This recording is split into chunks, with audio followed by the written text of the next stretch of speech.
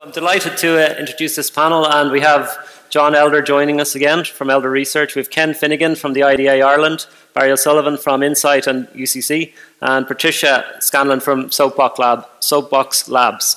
So, um, just to remind you all, there is a drinks and canopies reception coming up very soon, so this is going to be a little bit light-hearted, um, so uh, we can enjoy enjoy a few drinks later on and, and discuss the outcomes of this uh, very important and very serious uh, issue that we're all facing. So, of course, this, the technical, technological singularity or singularity is the idea that technological progress, particularly in artificial intelligence, will reach a tipping point to where machines are exponentially smarter than humans. And as far back as the 1960s, Alan Turing warned about the ultra intelligent machine, which he defined as a machine that can far surpass all the intellectual activities of any man, however, or woman, however clever.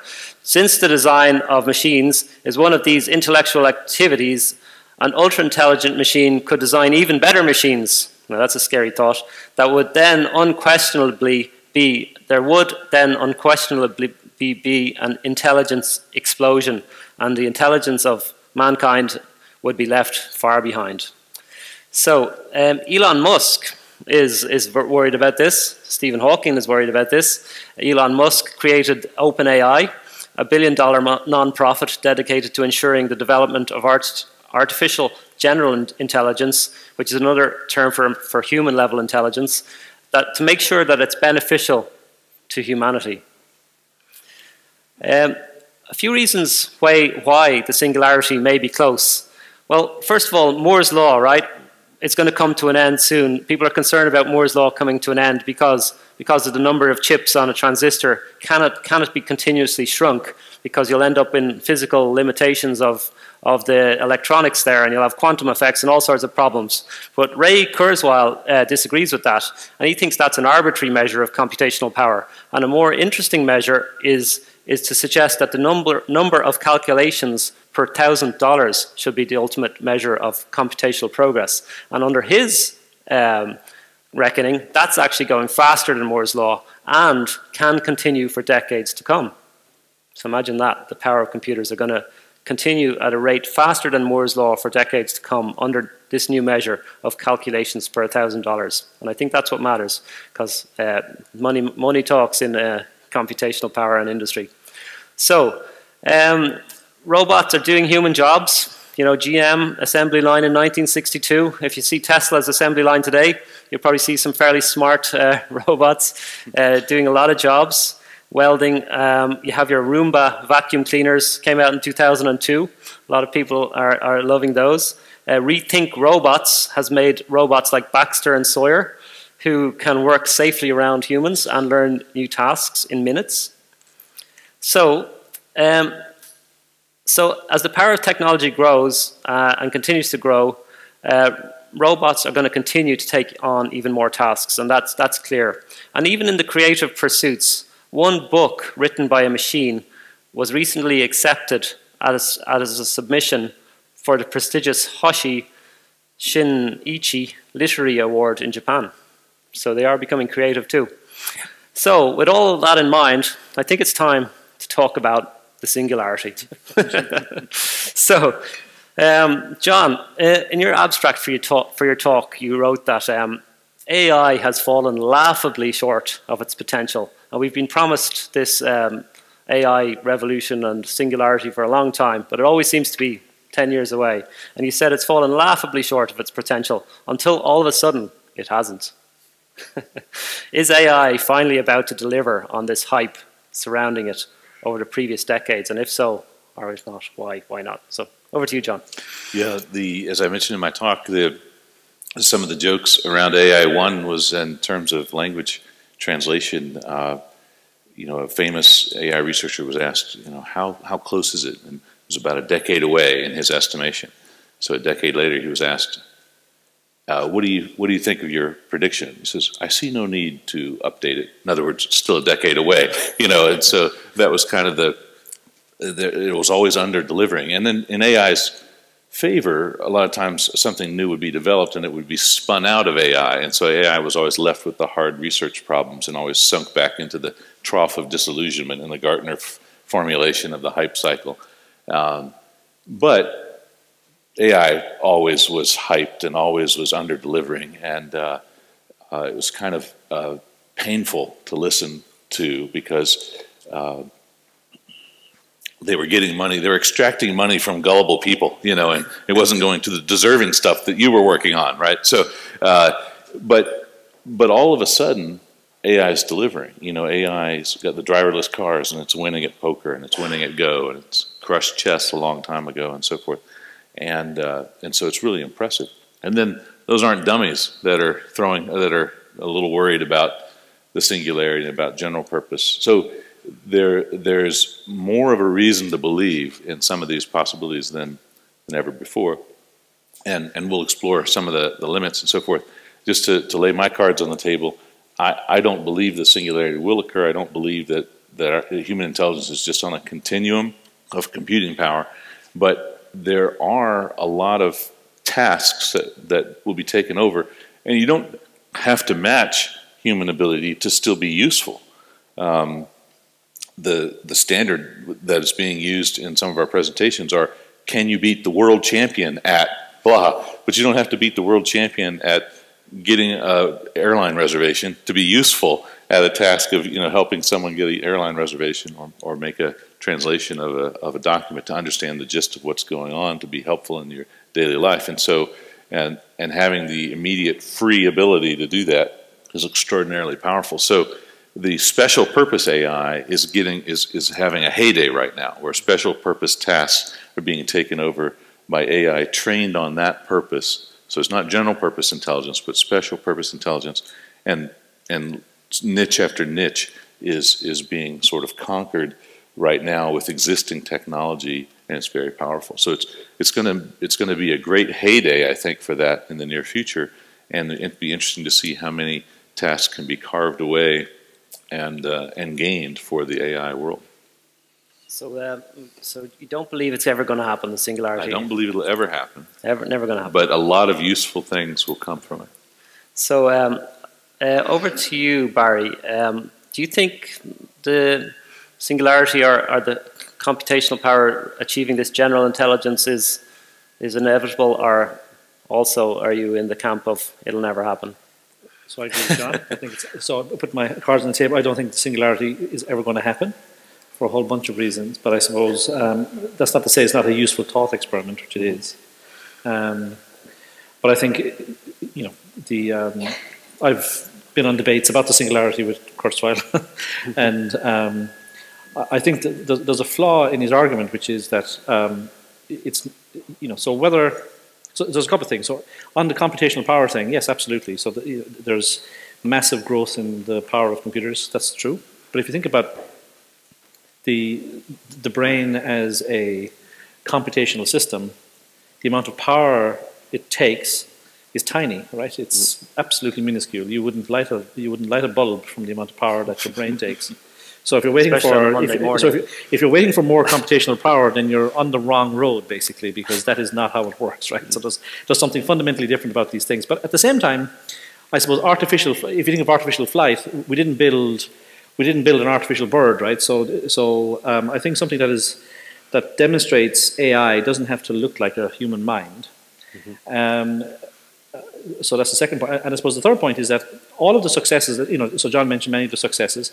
If you think about them, the components of them are just are you know tools or AI systems, very very narrow AI systems that can do very narrow tasks very very well. And even things as complex as driving, these are engineered combinations of these. They're not general intelligences, right? Um, and in fact, there is no scientific evidence at all to suggest that a singularity is even possible, right? So. Um, you know, Stephen Hawking, who's a you know a bright individual, and Elon Musk, who is a very successful individual. Um, you know, just because they say, just because they're worried about this thought experiment, doesn't mean it's true, right? Mm-hmm. So I don't think the singularity will ever occur. Um, but certainly, what's going to happen is that what we call AI is going to have massive impact, as John says. Mm-hmm. But I suppose one thing that I will say, and this might be controversial, is that the successes that we've had with AI they exhibit absolutely none of the capabilities, none of the characteristics of intelligence at all, actually. Mm-hmm. So the problem with AI is that it has a bad label because yeah. we don't build artificial intelligence systems, we build smart tools. Um, so, for example, deep learning tells you nothing at all about human intelligence. Um, and in fact, the reason it's so successful is that we can just function fit functions that have billions of parameters, and you know, for most useful things that we want to use that for, perception like vision, machine translation, such functions are just enough to do that. So they seem intelligent, but they're not. There's nothing at all intelligent about them, and that's coming from someone whose you know entire professional career is in the field of AI. Patricia, uh, help me out here. Uh, we need a believer. Um, you, you design smart devices that can understand human voice, right down to kids who have no tolerance for machines that have uh, that won't interact in a natural environment. These machines, these voice-connected devices, are connected to a, a, super powerful internet with insane amounts of computational power. Uh, is it not just inevitable that the this singularity is going to happen? And I look at this. I look at this very differently. I think um, when you say, "Is it going to happen?" when, right? So, you know, in the next, it, by 2040, no, totally agree with you, right? Um, 100 years? 200 years? like, are you honestly thinking that in 300 years, we're still talking about silicon? We're not, like, you know, there's more things in heaven and earth, Horatio, that have been dreamt of in your philosophy. And just because we don't know how it's going to happen and we can't imagine it on the physical devices or in the, we, are talking processing power here, we're mm. talking about cloud. We didn't even have cloud, like, you know, we didn't have. So when I think about it, I think we don't know what's going to exist in 40 years. So how could you possibly say it's not going to happen? And as I said earlier on, you can't stop progress. And, you know, I think honestly, I think Elon Musk and, and Hawking and all that have a point. I, I don't think everybody needs to push the panic buttons right now.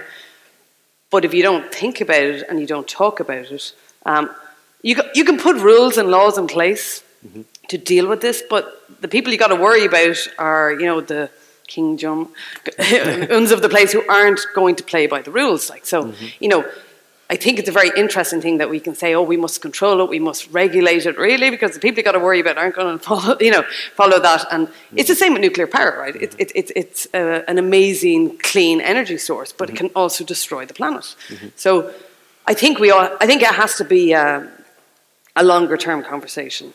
And for the next generation and the generation after that to be cognizant and have real conversations about, yeah, maybe not in my lifetime. Maybe, but maybe not in my lifetime. But I think um, I, am in the same camp as you, Patricia. I believe um, you know progress is, is marching forward, and mm. who are we to predict where we'll be in 10, 20, 30, 40 years? And I think Kurzweil himself has, has put a 10 year uh, prediction on it, but I, I, would be a little bit further out of it, like yourself. Mm. Um, let's let's move on to you know quickly. I suppose. Um, well, you know, let's imagine it's inevitable. Like I know you, you guys are totally opposed to this. Um, over to you, Ken. Um, Europe, um, to some extent, has been very focused on GDPR regulation. Now, I don't want to go into GDPR because we could talk about it all day, but has it missed the risk that is AI, uh, and how does that relate to, to, to the regu- as as um, as we said, regulation and rules that, that people are looking for to try to corral this thing and, and prevent it from becoming that catastrophe that it may become in where it's 40 years or 100 years time?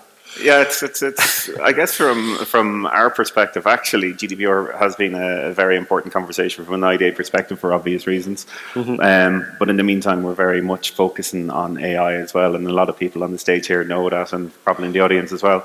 Um, we held an event last May um, to discuss actually all the topics are in and around AI and how to make Ireland kind of like a we, as we, we termed it AI Island. So um, what's what's our, our we wanted to benchmark where we are now in terms of capability. Actually, the last speakers were talking about. Um, um, understanding a team, so selecting 41 people and understanding their capabilities, and that's kind of what we were doing as well from an uh, uh from an economic development perspective. So we're looking at Team Ireland, if you want, understanding what the capability that exists here in industry, um, from an academic perspective, um, and and from a national perspective, we, it was a really interesting event that day. Actually, mm-hmm. we had a design-led um, workshop where we had industry, Irish companies, academia. We also had the unions there. We had the military in the room as mm-hmm. well. Mm-hmm. We had social innovators. Just to have that conversation about actually what does AI mean to Ireland and yeah. what does the future look like from an AI perspective. It sounds just yeah. I know Barry, you have a point on GDPR and, and relations to AI, but just before we get to that. Um,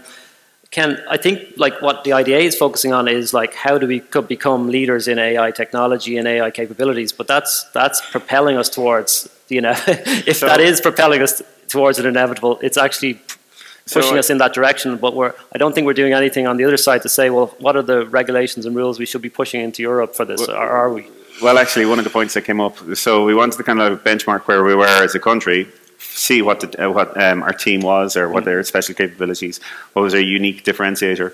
But in addition, it was like we we took feedback from everybody in the audience that day to understand actually what are the blockers for us pr- to progress in terms of making Ireland kind of like a, a, a global leader, if you want, in artificial intelligence. And we have actually we've been addressing all those. Um, whether whether this brings us to a singularity, uh, I'm not too sure. You know, you're- And this is really fun, by the way. I, I don't get to ever have conversations about singularity when I'm sitting in front of clients of IDA. But um, but it's it was really interesting listening to the challenges. Like for example, one of the challenges was um, in and around access to open data. So we all know that, that data is the is the fuel for for artificial intelligence. Um, the perception out there was that okay, Ireland's pretty bad. Turns out actually we're third in Europe from a, um, from a government perspective and access to open data um, perspective, um, which is pretty impressive. And we've I guess it's like finding out those issues that the, perception of issues out there and being able to address them, maybe we can um, uh, speed up our progress towards the singularity.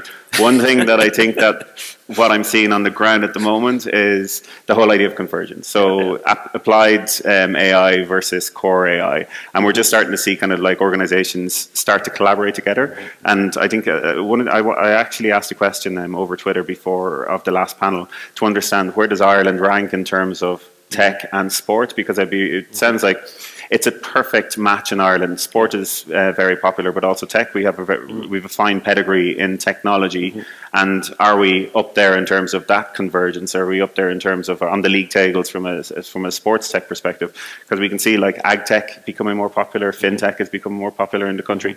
Uh, So it's that, that weak AI I can see us progressing on. When will we hit the kind of like the uh, That's great. Always be selling Ireland, Ken. That's Always great selling stuff. All right, what are your thoughts on the GDPR regulation AI issue? Yes, th- th- there is actually a direct link between AI and the GDPR. So in um, so I'm- I'm one of those people who reads this kind of legislation because I'm that kind of nerd. But um, but there's a Article 22 in the GDPR talks about algorithmic decision making, um, and it it basically says that a, that a an EU citizen has the right not to be subject to solely uh, decisions that are solely made by algorithmic means. So, in other words, um, you have you will have a right as, a, as an EU citizen not to be subject to um, an entirely a decision made by an AI system. And I suppose what that means is that the AI system will need to be able to explain itself to you, or you'll be able to interrogate the decision. And I suppose um, last year I did this interview with Silicon Republic where there's a sort of a glib title to it, which is that AI, that AI will become illegal in Europe in 2018. And what I meant was It's gonna that um, what I meant was that there are there are many AI techniques, so deep learning, for example, Mm. which can't actually explain themselves. So if you were a human being and you know you're interacting with a deep learning system that's deciding whether or not you should get a certain type of insurance premium, and if you're not happy, you say, "Well, why did you give me that insurance premium?"